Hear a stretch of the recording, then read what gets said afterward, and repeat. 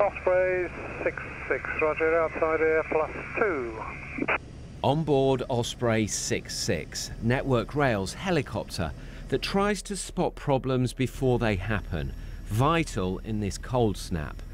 We took a trip to inspect the line from Euston.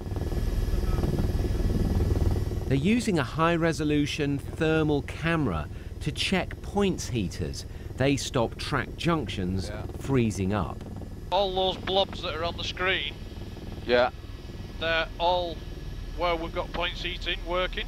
But using the camera, they quickly spot a heater that isn't working. In about a thousand feet, what I can do is move the camera in Yeah. and we can look and ascertain the set of points that we're looking at and switch from a visual view and go back into thermal where we can see the half a set of points are not working. So we can give staff a really accurate location. So not only can we give them the point number so they can go directly to site, we can also give them an engineer's line reference and a mileage. So it's it's that detailed. Yeah, yeah, Pinpoint, really. indeed. Engineers will be sent to fix these problems quickly. It'd normally take months to inspect this whole route, but with this thermal camera on the helicopter, it'll take just hours. It's called Predict and Prevent, and it also means they can spot things like cable theft, overgrown vegetation, even fly tipping.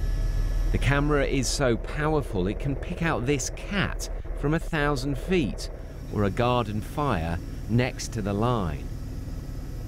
It's not long before they spot another points heater not working, and further down the track, these wires are overheating. Is that bad? It, it may mean that those connections aren't as tight as they could be. when we've got snow, ice, and frost, we can spot things like points failures where the heating's breaking down or not perhaps working on a set of points. That could stop trains, and these are some of the busiest lines in the country. So we want to try and avoid that and keep people on the move as much as we can. These cameras, Network Rail say, have saved many hours of delays.